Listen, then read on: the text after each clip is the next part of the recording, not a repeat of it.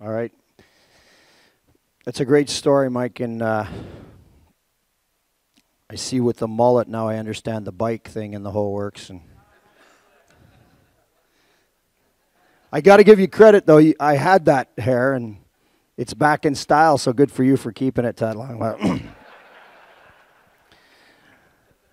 Before our next speaker speaks, uh, you know, we talked about the evolution of the game and about how it's changed, and it's certainly changed in different aspects. We talked about analytics, we talked about, you know, touched on that, and you guys are going to hear a lot of that kind of stuff and, and, and conversation from the coaches that are here today that'll speak. One of the biggest changes that I've noticed or had noticed as an athlete was I came in when you came to training camp, it was two weeks long, you had two a days. Um, I know Dallas is speaking here today, and he'll t- you know can touch on that. I mean, uh, the, you hated training camp; it just wore you out. It was two a days. It was it was miserable. Guys trying to make the team, and they're trying to get in shape, and guys really didn't get in shape until you know around November. Really, the kind of shape you need to be in play, and now they came in. The evolution of it started. We had one bike in St. Louis. We had one stair machine, and we had a universal and some free weights. But we had a universal that was shoved into the corner because we didn't have enough room, so you could use one side of it. Gino Cavallini used to get on the bike after practices and after games, and he used to drive Brian Sutter crazy. He said, You know why he's on that bike? Because he didn't work hard enough during the game. It certainly changed. Brett Hull went, I'm like I'm picking on Brett here, but Brett Hull went to camp one year after he scored 86 goals. And we were doing fitness tests. First time it was going to be these long tests, all right? You know, vertical jump. You know, you put your hand up, you you touch the the you know the the meters, and then you jump and see how high you can touch again, and measure your vertical. And they want him to reach up and touch. And he goes, "What?" Uh, Mr. Hull, this kid's terrified of him from Washington University. You know, he's probably some intern. What do you want? I want, Mr. Hull, we want you to see how high you can raise your hands in the air. What? What would I do that for? Just put your hands, we just want to see how high you can raise your hands. So Brett goes like this I did it 86 times last year. there was going to be no vertical jump. But the gentleman speaking next, Dr. Stephen Norris, he's a leading performance consultant in, in sports science and uh, his accolades go on and on and on. Dr. Norris is the director of sport uh, physiology and, and, and, and strategic planning at the Canadian Sports Centre in Calgary. Um, if you know Canada's uh, Olympic Training Center, and he was a part of three Olympics and probably more, but 02, 06, and, and 2010. Dr. Norris is uh, associate professor at Mount Royal University and University of Calgary in Alberta, and has spoke all over the world in performance behavior and excellence in sports. So it's my pleasure to introduce uh, Dr. Stephen Norris.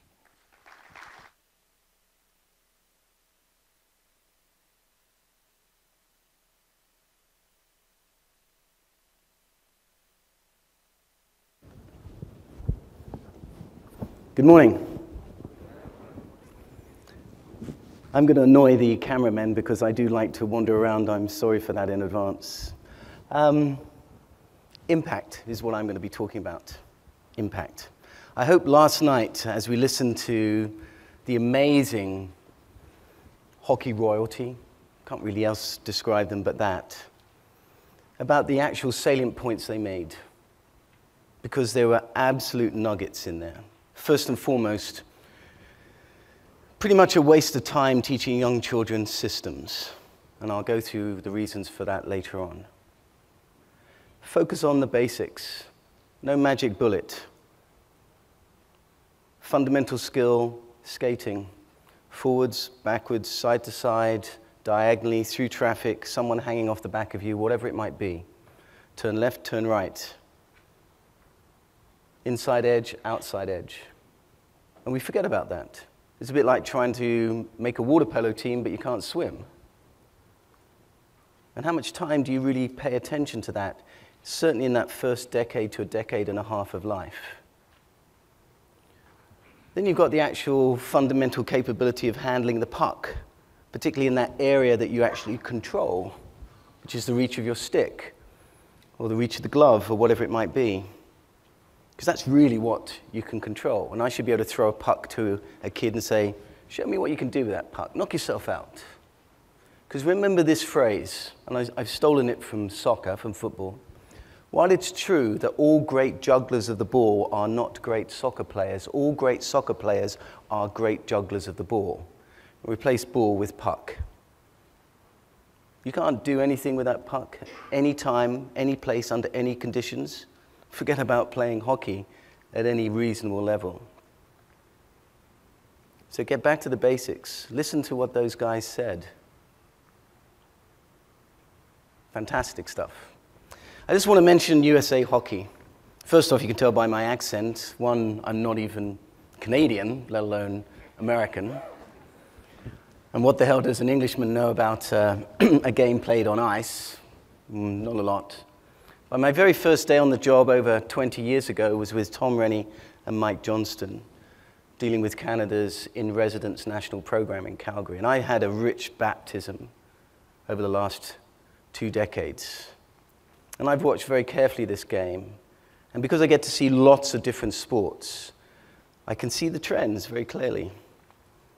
And one of the most magnificent things I've seen is the growth of USA hockey over the last, certainly the last decade, and particularly over the last five years. The commitment of resources to the community, to the grassroots, to the foundation. Yeah, we can focus on the national teams, they're the glitz, they're the sexy bits. But the, but the actual grassroots programming is the bread and butter. It is the future. So I want to make sure that you understand that and my commitment to you, all of you, because I get to work with coaches and high performance directors every day. And as a sports scientist, my job really is to be almost invisible, to be seen but not heard, to blend into the background and only really offer my advice when I'm asked for it. And I have to live with the fact that at the end of the day, the coach calls the shots. And I'm perfectly fine with that. But my job is wrapped up in the Japanese principle of kaizen, continual improvement. Every year, we all strive to get better. So, we're going to have some fun. Going to talk about impact a little bit with you. One of the first things, of course, is um, I uh, basically throw the proverbial rock in the pond, cause some ripples. I do not expect you to believe what I say, to agree with everything what I say, but I do expect to try and touch some of your buttons to cause you to think about what you do. And that word change. Change is life. The game of hockey, if you're prepared to be truly honest, go back even 10, but go back 20 years into the 90s and just watch the video of the game compared to last season. Look for the changes, things that hit you straight in the face, the speed, the way in which even the players shoot predominantly these days, increasing ambidextrousness in the game, the ability to do a gross motor skill whilst doing a fine motor skill. What I mean by that is the ability to skate at full speed, not go to the glide, and still pass or shoot the puck. And it's still a tragedy that so few, even at the highest level of the game, can do that. But more and more, as each year passes, we see phenomenal stuff. And the kids that some of you are teaching, those five to 10 year olds, you have to have in your mind what will the game look like for them when they're at their peak, 25 to 35 years of age. So that's 20 odd years in advance. Because it's not going to look like now. It's all about this, and these are the three areas I'm going to talk to you about today people, you, the kids, the youth, and any of you fortunate to deal with some of the superstars, perhaps them too, the places in which you do it, and the type of programs you design you should become experts in asking questions, always, including this one. Why do you do it? We're not curing cancer in this room. We're not dealing with world peace, although perhaps sport can have a role there.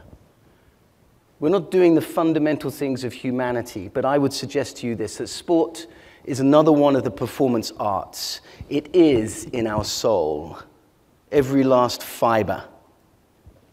And here's the real kicker you're dealing with our most precious resource on this planet, our children and youth. And that is a phenomenal responsibility because it's their lives, not ours. Their lives. And we shouldn't be playing with them. We've almost got to be stoic enough to say, we're going to take this very seriously, but at the same time, we've got to make it as fun as possible.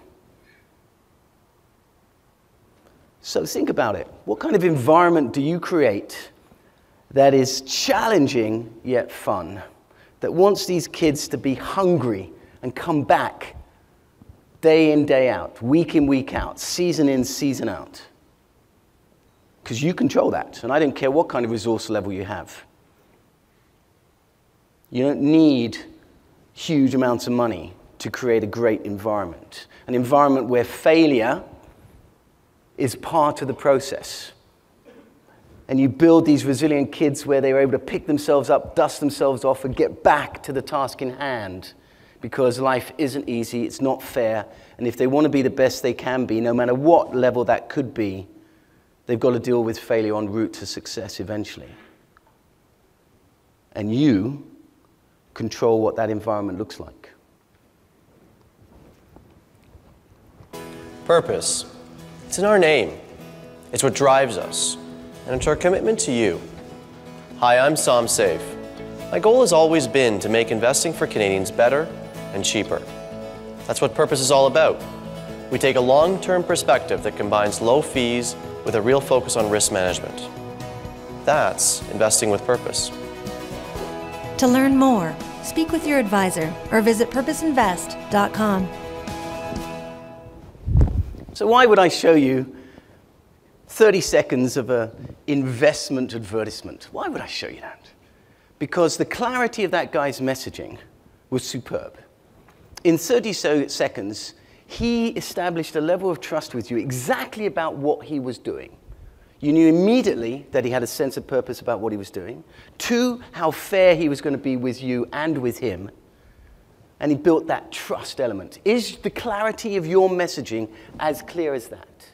To your parents, to your kids, to your sponsors, even to the person that looks after the rink that you have to utilize. Clarity of messaging. And before you rush after things like, you know, your mission and vision and all these type of things, you need to seriously think about your purpose. What are you trying to do? Does everyone understand that very, very clearly? And challenge others in your organization if you have more than one age group, if you're in your particular situation. Is it very clear what you're trying to do? As we go through this journey of life, and you could probably pick out roughly where you are or who you're actually dealing with, you need to think about this. And this is where I'm going to challenge you hard and I'm going to come at you with a vengeance. You have, sitting here right now, had these odds. One in 400 trillion that you're sitting here right now, that you were born. That's the probability. That makes winning the lottery look bloody easy.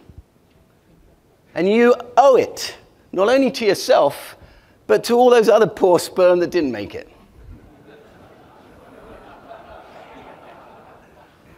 You do. But here's the thing I want you to seriously, seriously consider that responsibility. What are you doing with your life?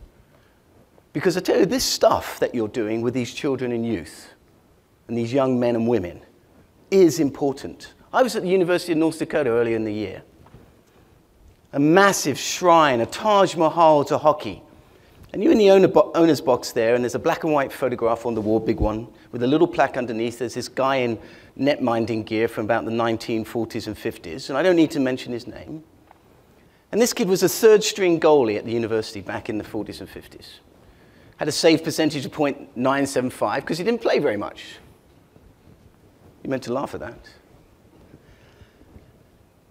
The story is, however, he hardly played, third string, only if someone was sick, injured, did he get a chance. He turned up at every practice, worked very, very hard, gave his all, was never going to make a, a professional career.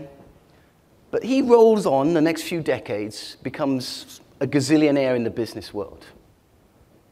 And when his alma mater came calling for help, he's the one that anted up the $130 million that built that new magnificent hockey temple.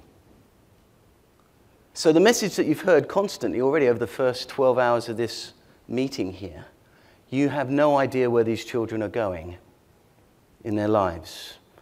They are the parents of the future, the coaches of the future, the benefactors of the future, the sponsors of the future. They have to be the advocates of the future, so you damn well better give them one of the most amazing experiences of their life. Because you have no idea. And sure, amongst them, those precious few, the type of people we saw sitting on the stage last night, these will be the few that entertain us in the future, that do these amazing things that we see week in, week out on the television. And if we're lucky, perhaps in person if we get to go to a game or the World Championships or the Olympics.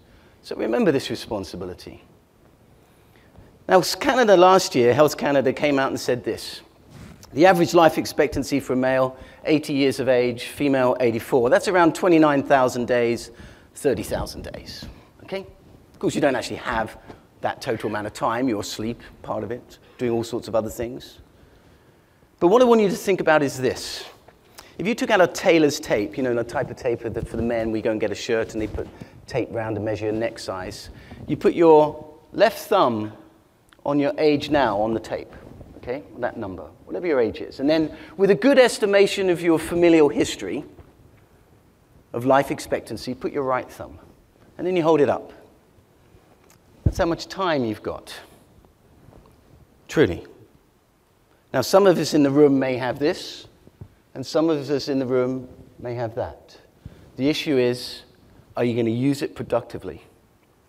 What is going to be your legacy? What are people going to say about you? Because you need to understand this. Time time is the one thing you can't buy and you have precious little of it in the grand scheme of things. Once it's gone it's gone. Can't get it back. So i applaud you for being here because that suggests immediately that you want to learn you truly want to be a lifelong learner. You want to push the envelope. You want to take everything that you know and grab everything that everyone else know, knows so you can push the marble forward and you can help these kids. And obviously, because we all have egos, vicariously help yourself because you want to be appreciated, I assume. The problem we have is the fact that we're limited by our comfort zone. What I mean by that, as we age, what we're comfortable with gets narrower and narrower and narrower. We get more complacent. We don't step outside of our own conservatism. And yet, this is a recipe for disaster, not only for ourselves, but for the youngsters we deal with. Because one of the critical things is you must open your minds to the concept of how the world constantly evolves around you. The world is doing this at a time with each of the years of your passing, this happens. Think about it. If we actually added up the years of experience in this room now, we're into thousands of years of hockey, thousands of years. And then with each one of us, we've got experience in our own domain of other stuff. We should be able to solve any damn problem certainly to do with hockey, that we care to turn our attention to. If we let ourselves do that. But of course, you don't. You don't. Why is that? Because you don't want to push the marble forward, you don't want to rock the boat, you don't want to step outside, you don't want to do stuff. You have little voices that say, oh, I've tried that, didn't work, or we've always done it this way, etc., etc. You know the drill. All I'm telling you is we are our own worst enemy, and we have no one else to blame except ourselves. And yet, here we are charged with doing the very best thing for these children who aren't encumbered by narrow comfort zones. Theirs is a sense of wonder. Even if I said the word hockey to you, instantly into your brain pops some kind of vision of what hockey looks like right now, and with nostalgia, what it used to look like. The problem is you can take that strength, you've got to use that experience, but be able to expand it to what it potentially can look like. So I'm going to show you cycling, a cyclist right now. And immediately, me saying that, there's a picture of what cycling might be. You may have watched the road race at the Olympics just recently, and well done to the United States for the female result. But this is cycling that takes things to a new domain. So imagine replacing the word cycling with hockey. Hockey is what you've thought of instantly, but where hockey could go. This is Danny McGaskill, Team GoPro, Red Bull. Desde Radio El Escorchio. Como cada mañana le invitamos a disfrutar otro maravilloso día soleado en Las Palmas de Gran Canaria. La temperatura ambiente es de unos 22 grados, sin apenas viento y con la mar en calma. Sin duda, otro perfecto día para pasarlo en la playa.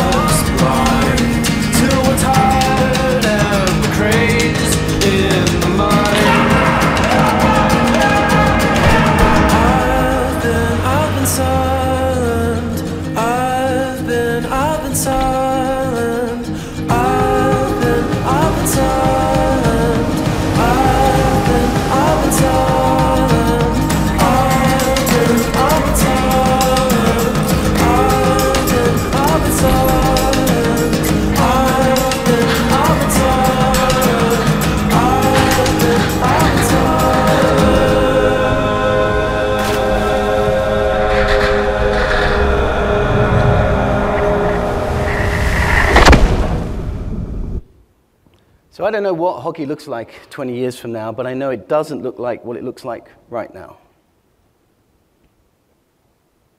So these youngsters, you've got to prepare them for what that future could possibly look like. And they need to be able to do anything imaginable with that puck. Anything. Anytime, any place, under any conditions. Performance on demand. So, for those of you dealing with the younger groups, your experience, but unleashing their creativity, a word we heard a lot about yesterday. The NHL guys, creativity. Do you create that environment, so your creativity, to allow that environment to blossom? Or do you stifle them? Do you force them to play in a particular way? Hockey is nothing if it is not problem solving. And there are a thousand and one ways to solve a problem.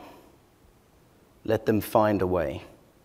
Let them find what works and what doesn't. That's your job. Hallmark of great coaches, the hallmark of great coaches, and I've worked with many who leave me in awe, is that they take averagely good people and make them great.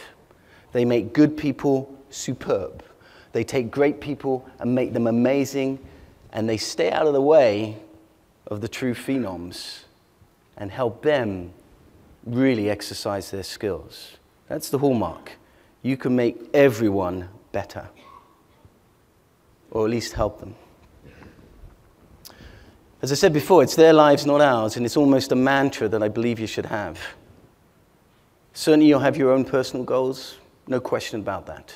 But at the end of the day, if you're truly a coach, high performance director, or what have you, or even a parent, you're nurturing these youngsters along on their pathway. Very clear. Here's an excellent little short video. It's an advertisement for California. Sorry about that. But think about what the parents say, because they made themselves think. There's a little bit early on with the mother where she talks about the fact that the daughter asked why she wasn't doing something. And it made her and her husband think about why. You'll see it if you listen carefully. And then the father talks about, you know, constraining the little kid and being frightened. Then he admits, of course, that she's better than him, so what does he know? Here's Bella and the pink helmet posse. Three, two, one, go! We didn't choose the color pink. It just happened. Who's gonna win? Oh, I won. Look at your stuff.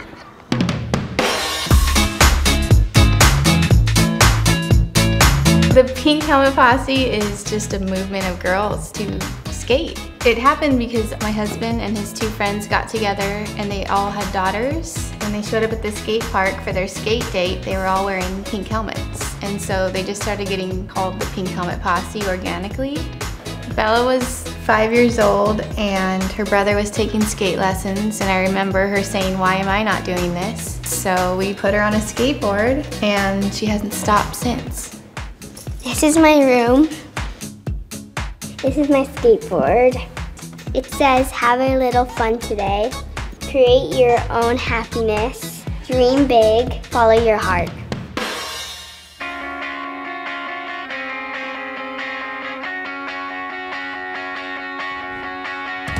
I think California had a big influence on who Bella is and becoming because of the lifestyle that you get to live here. I mean, she surfs and skates every day of her life.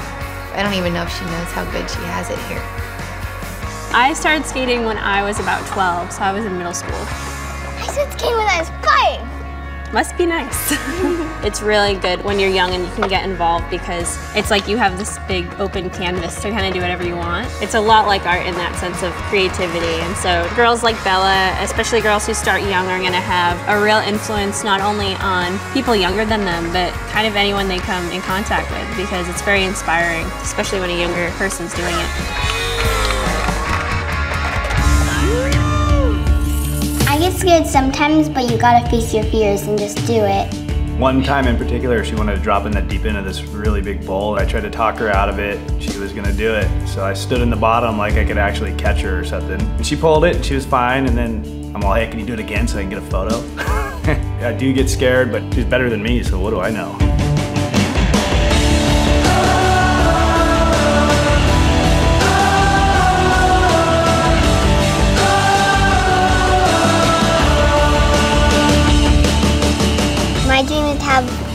Skate park a bunch of girls skating. My dream is when I go to my favorite skate park, I'm going to see more girls than boys. My dream is I want to be a dolphin trainer. My hopes and dreams for Bella and for girls like Bella is that they don't hold themselves back from anything. They find something that they're passionate about and something that they love to do because it's really rewarding and it feels really great to love to do something so much. I can't imagine living this lifestyle anywhere else. If you can dream it, you can do it, and California is the place to do it. You know, it's just a really big melting pot of a lot of creativity, and I think Bella is a perfect example of that.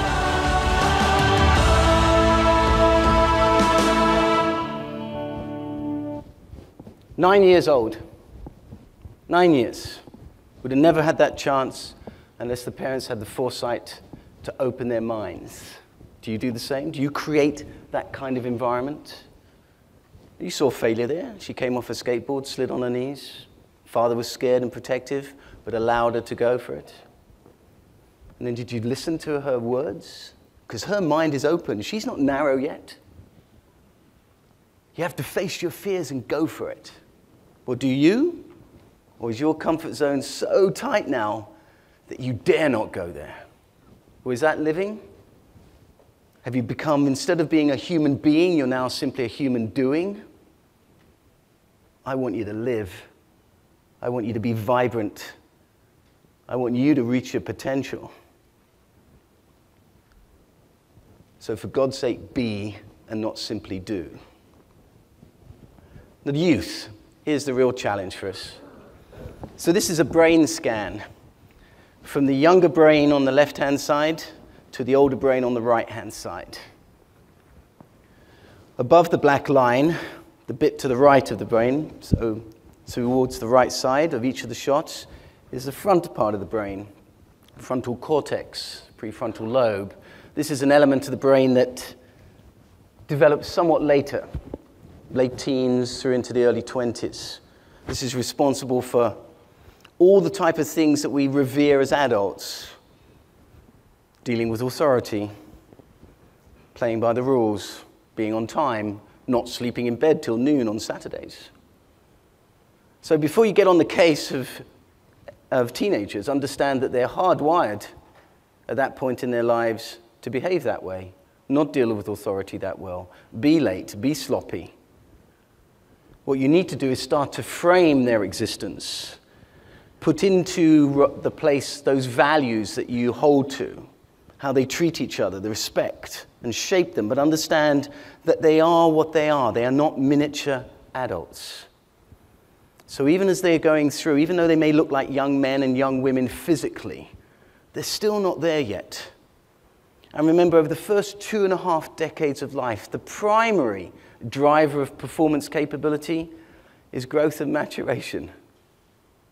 You're just superimposing on top of that and helping them in other areas, such as skill.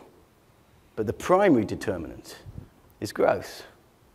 This is why you have such a problem in games where you look for performance success early on as the only metric, because you will notoriously start to choose the early developers and forget about the late developers. How stupid is that?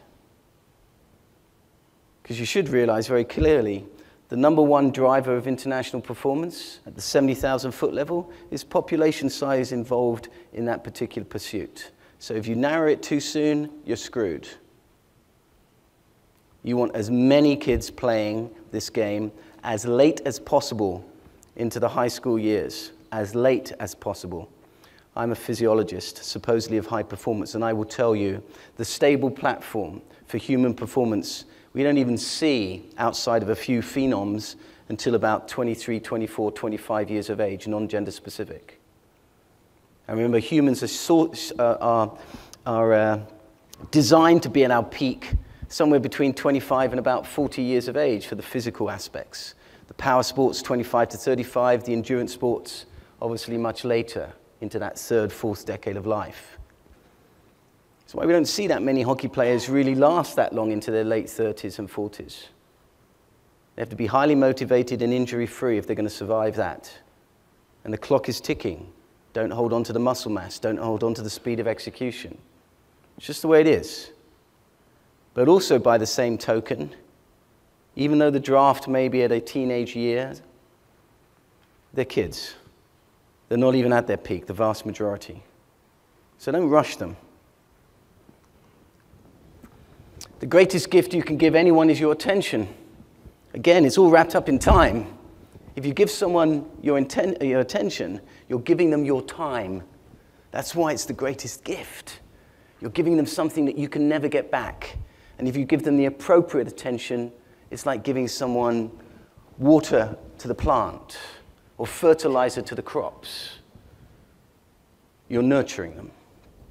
You have to build confidence and reinforce belief through the teenage years, in particular, because they're going through some struggles, finding their place in the world, growing like weeds, dealing with the fact that on any given day they could be quite a bit worse than they were previously, just because of the changes that are going on for them, if you recognize it. And you have to get them through the tough times. The easy times, no problem. At the end of the high school years, as far as I'm concerned, this should be your checklist of key performance indicators. Have I helped build active, skilled, imaginative, resourceful, and resilient players that can play anytime, any place, under any circumstances, under any coach and any system? Have you really done that? Because here's the funny thing these kids don't get that many coaches in their lifetime.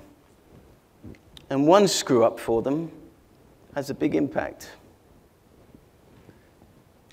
And while someone has to be someone's last coach, here's the thing I would never want to have on my epitaph that I am the last coach of a bunch of 10 year olds, or 12 year olds, or 14 year olds, or even 16 year olds. That's a damning indictment. Why did they leave the game? I had an asshole coach. Didn't help me. You always want to be thinking about how are you preparing them for the next step. So let's talk about us for a little bit. So there's me. According to Health Canada, when you remember the ages, I've got about 24 years left. That's 8,760 days. The problem is I don't have 8,760 days. I only have 2,920. Sorry, that's wrong. Talking of myself. 2,920 of them I don't have because I'm asleep out of the 8,000. And worse still, the other 110, I'm sitting on the toilet. The only good thing about that, of course, it is quality time.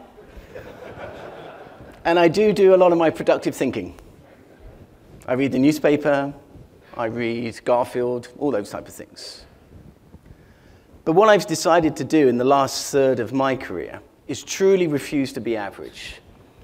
So I'm prepared to give up my weekends to work with coaches, to come to conferences like this and try to throw that rock, whether you agree with me or not, to cause the ripple to make you think. That's my job, to make you think. So you go away from here and you commit. And remember, commitment is 100%. You can't be 70% committed to make a difference. To think yourself critically about what you do. And if you don't think you can teach an old dog new tricks, here's Neil Peart. Who's Neil Peart? The greatest percussionist of our generation, without a doubt. The lead percussionist, the main drummer for the band Rush. Now, a few years ago, he had, had an unfortunate life changing event. He lost his wife and daughter in a tragic accident. The band took a hiatus, and he got on his motorbike and rode around North America, Central America, and South America. And he became enamored with jazz. But the problem for him was because he had specialized in rock over 30 to 40 years, his brain was hardwired for rock rhythms. He could handle the rhythms of rock. What he couldn't handle was the underlying foot pattern in jazz.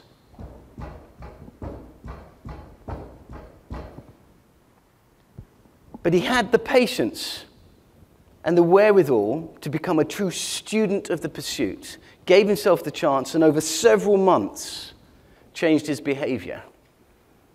Until eventually he put together this piece of video for us as a sense of wonderment. As you look late into the video clip, look at the amount of syncopation, the ability to completely do something with the upper body, completely out of whack with what was going on with the lower extremes. No different than a hockey player skating at speed through traffic and not going to the glide and therefore losing speed and still thread the needle with the pass. Or the netminder through traffic, he's having to move and with a simple task reach for the glove save. No different. But it all came down to what he had done 40 years earlier. Do you give these kids the chance to do absolutely everything? Or do you narrow them? Their lives, not ours. So when I first started working on this and tried to do something, it was all I could do really just play the foot pattern and then try to start introducing the simplest possible stickings across it.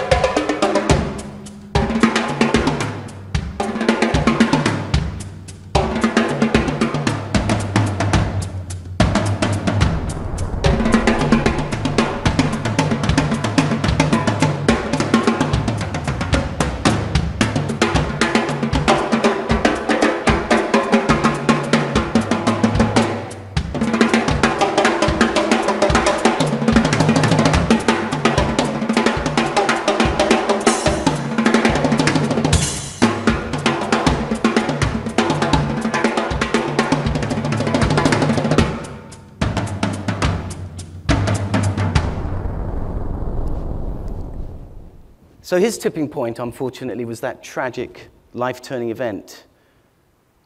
I wouldn't wish that on you. You have to become your own tipping points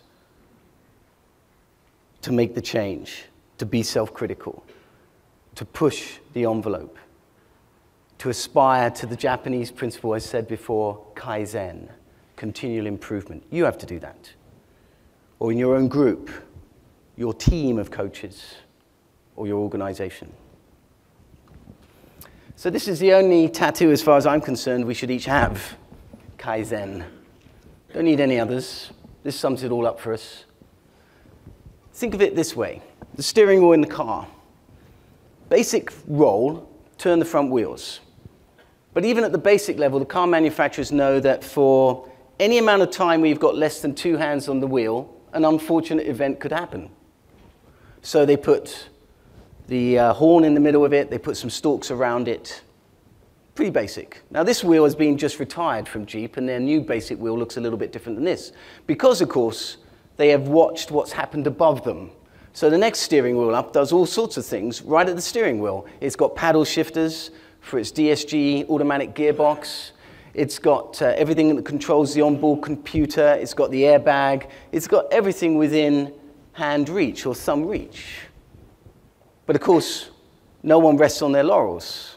And this car can do about, I don't know, 240 kilometers an hour. So now you move to a car that can do 300 miles an hour. Uh, sorry, 300 kilometers an hour. So this young, more, recent Ferrari has big, big paddle shifters, you can see. If you look very carefully on the top, uh, sort of uh, at uh, about uh, 11 o'clock and 1 o'clock, you can see the indents where even by simply moving the thumb, you can press the horn. It's not in the middle of the steering wheel because you don't want to be taking your hands off the steering wheel to go to the middle of the, the wheel at 300 kilometers an hour. You can even turn the indicators right on the center aspect of the, each of the wheel, either side of the center there. You can turn the lights on. You can change the speed of the windscreen wipers and turn them on and off. You can start this car, you can change the suspension, and you can change the onboard diagnostics all from the steering wheel. Kaizen, just continual improvement of the steering wheel. And they're coming to a cars that we will have one day, that all of us can afford. And then if you look at the epitome of a steering wheel, this is last year's Formula One wheel for the Team Lotus with 36 different functions on this steering wheel. You can even change the bite of the clutch electronically from the steering wheel depending on when the first corner is going to appear from one racetrack to another. He can even press a button, it squirts water into his mouth. The point is, wherever you draw the line in the sand, wherever you set the standard, it can always be raised. BMW, a few years ago, when they launched one of their new incarnations of the 3 Series, said, When you set the bar, you are obligated to raise it every so often. Well, do you do that with yourselves? Or are you still doing the same stuff you've always done? Because that's a recipe for disaster. Sure enough, at times you're going to have to hit the hazard warning lights. You're going to certainly have people take pot shots at you, particularly if you're trying to buck the trend. You're trying to do something. You're not too worried about winning. Because remember, if you're in age group, so for me, anything in hockey up to about the age of 18, the goal surely is to help them get better every single year. That's the goal. I don't give a damn about who wins, because I can tell you very clearly across all the sports, 85 to 96% of the age group champions are not the people that win when it matters. They're not. The United States Olympic Committee has phenomenal data on where your Olympians come from. We just tend to ignore it. I don't know why, because we don't get it. And we want to win that next meaningless trophy at age 10. Well, there is no such thing as a 10 year old champion, a 14 year old champion, a 16 year old champion. These are redundant concepts, perhaps only in the female artistic sports. And even gymnastics a few years ago raised the age that they would allow competition at for females. But for males, you've got more time to develop them than females. You know for a fact clearly that girls develop sooner. When they hit the growth spurt, that marks the end of childhood. And yet, childhood was the greatest period for skill acquisition that you will face. So, in girls at around 10, 11, boys 13, 14. Don't squander it. And for those of you dealing with females, you better get it right because you've got less time. Less time. And I get fed up with NHL teams phoning me up and saying, Steve, I've got a 23 year old defenseman. Can we send him to you for a week? Teach him to skate backwards better? No! You out of your mind?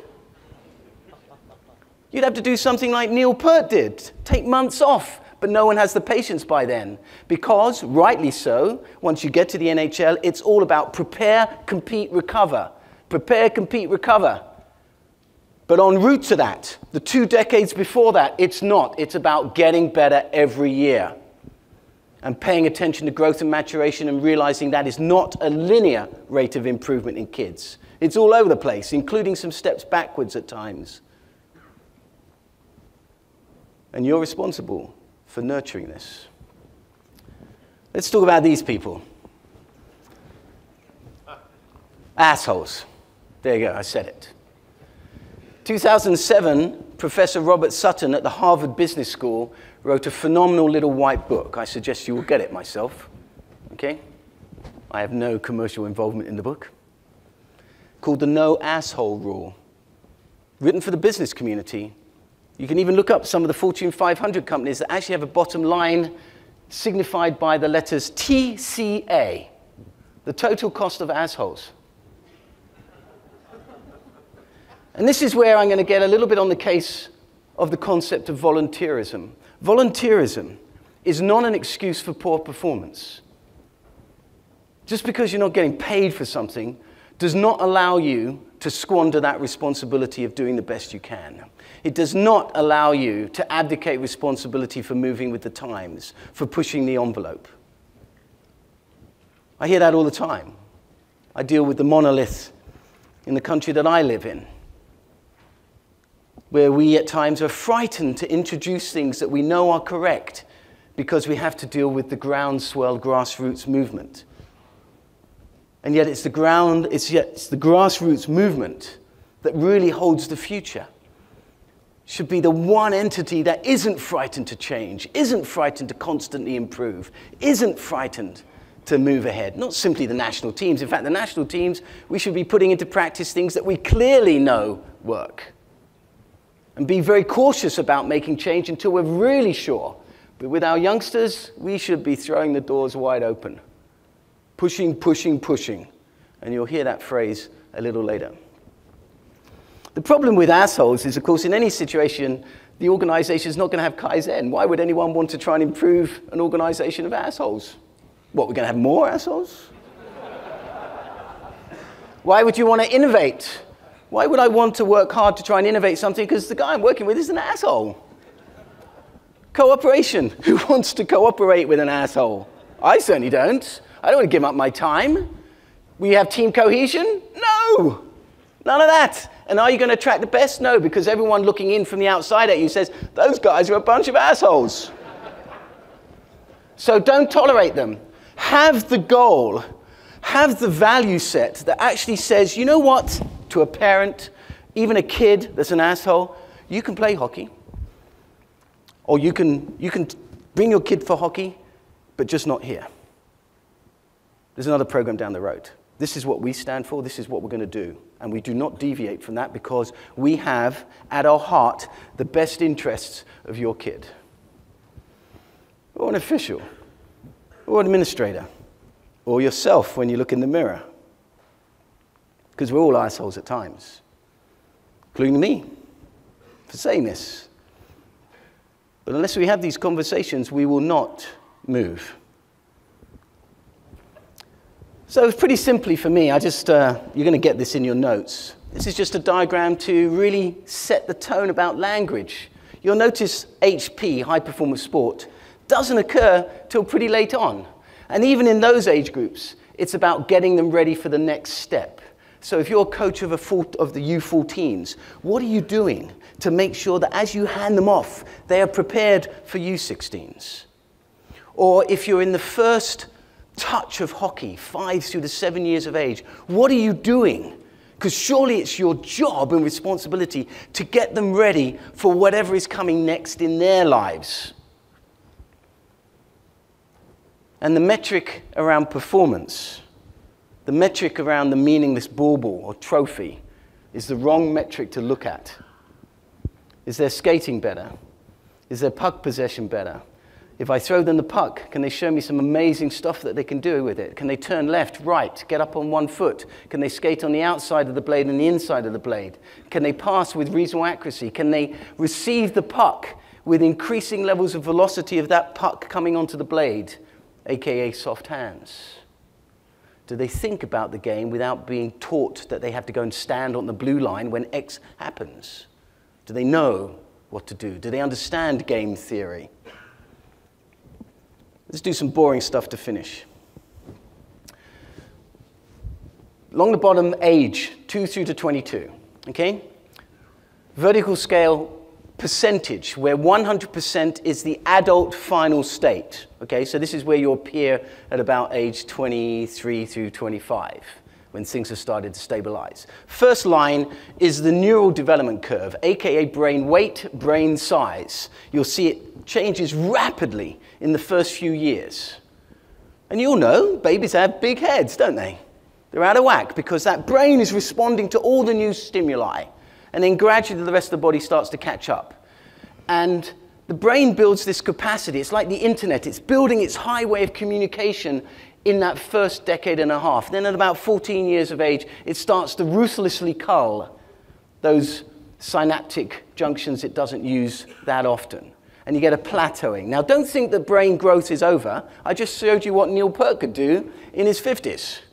It's just the level of change, the plasticity, the elasticity, the scope is huge in that first decade and a half. This should scream at you, I mean, scream at you, Why you expose children to as many different stimuli as possible. Why you do not early specialize. You absolutely throw everything you can imaginable at them so that their brains develop. Absolutely. Compared to this line, which is the one we often focus on, this is a rough representation of the circulating levels in our blood of the male sex hormone testosterone. Present in males and females, of course, but a higher level in males. This is the one that, as it is a downstream signaler of change around puberty. Without this stuff, of course, you can't put on massive muscle mass. So, no point doing strength for muscle mass gains before you get into your mid to late teens. Not going to happen. Kids are getting stronger because of the top line, the neural curve. Plus, they're growing anyway. So, they're going to naturally get a bit stronger, but they're getting stronger because they're learning how to use their muscles, aka a skill. So, kids doing manic NHL type training programs too early in life, why? The good people, you're going to hear Mike Boyles later on, phenomenal, have modified programs. They understand what to do through the progression over the years. Compared to this line, this is the overall line. This actually follows somewhat along the lines of fat free mass, even. Sigmoidal, period of rapid change in the first few years, period of relative stability, lots of opportunity in those mid years. Look how both lines are quite stable from about six years of age to about 14 years of age. Prime time. Skill, skill, skill, skill, skill, skill, skill. Basic motion, sport specific. Basic motion stuff, sport specific. Then all hell breaks loose when they go through puberty. Good luck with that one. Compared to this, first two decades of life along the bottom, this is rate of change in a calendar year. Rate of change. Here's females. This is a rate of change in height. There's the, the growth spurt you can see. That big blip you can see is about 12, 13 years of age in most girls. That's when they're growing at their greatest typically. Compared to boys, you didn't need, me to tell you that they grow a little bit later. But of course, they grow um, to a much greater extent, so the boys end up taller. Bone mineral density comes a little bit later, so the bones grow lengthwise first before you actually get them to have any strength, and that's in response to loading forces. This period, as I said before, great period for teaching all the skills. For God's sake, make sure they can skate. God's sake, make sure they can do something amazing with that puck. Because in this period where we get very blinkered and we start choosing kids early, that period, you're not comparing apples with apples. They're apples and kiwi fruit and bananas and God knows what else at that period of time. Good luck really trying to find your best. You're just looking at Kodak moments in time. Some kids will be ahead of the curve, some kids will be behind. The problem you've got is it's very varied. Some kids grow very quickly, very soon, others grow slowly over a longer period of time. So there's a lot of diversity. That's where you, as a coach, have to use your coaching eye and look at what's happening to these youngsters before your very eyes. And you need to look at the impact of maturation on physiology, the annual gain in performance capacity, for example. This is percentage change in a year on the vertical. Here's 11 through 22 years of age. So without you doing anything, just a kid growing, their VO2 max will change quite dramatically over this period of time. Why is that? Why is that peak happening at that time? Because they're growing. Growing tall, bigger lungs, bigger lung volume. No wonder their VO2 max goes up and you haven't done a thing about it. Remember, kids are very aerobic. You may put hockey equipment on them and rush them down the ice at 8, 10, 12, 14, 16. They're not even producing energy in the same way that they will when they're 25 because of this. Anaerobic capacity develops much later. And this is very important if you're a senior player playing a game. In the same way that blood lactate, for example. Kids are not anaerobic they're very fast in explosive way because of the neural system, and they're very aerobic. The enzymatic pathways that eventually help them play hockey at the eventual level, not even apparent yet. So they may wear the same equipment, may rush down the ice, but they're doing it very, very differently. Another reason for really constructing coaching to be very different in terms of what you're doing. I put this in more for you to have afterwards. It's, I want you to think about what on one page would describe your sort of pathway through hockey and the big areas skating, technical, tactical, etc., etc. That's just for you, you to have, and you'll, you'll get all that information. I need to finish off very quickly here for you. A critical lesson as I wrap it up. This is Yoda as the mentor to Luke Skywalker. And listen carefully because it's quite quiet. All right, I'll give it a try. No. Try not. Do. Or do not. There is no try. Why is that? Because trying is lying. It's like me saying, I'm going to try and pick this up. I'm going to try and pick this up. What the hell does that mean? I'm either going to pick it up or I don't. I'm either going to do it or not. So you will either do things to improve or you won't. It's no good saying I'm going to try. The only trying that should be revered is in little kids when you're setting up the environment so the only failure for them is not to try, not to actually go and do it. But in the end, they actually do these things. But for you, there is no trying. Do or do not. End of story. I don't actually have time to show you this video, so I'm going to just move on from this and finish with this. If you always do what you've always done, you'll always get what you've always got. Pretty damn simple. And you need to understand that the values that you exhibit need to be rock solid, because these are the behaviors when no one is looking. No one is looking. How do you behave? Do you pick your nose? Do you fart? Do you do all that type of stuff? Do you throw litter on the ground? Do you walk on the logo in the carpet when no one's looking? Or do you actually hold to these values? Because you are being watched every minute of the day when these kids are with you. And if you are inconsistent and you deviate, they will pick up on that. So you have to understand this. Say what you mean, mean what you say, and don't be mean when you say it. Thank you very much.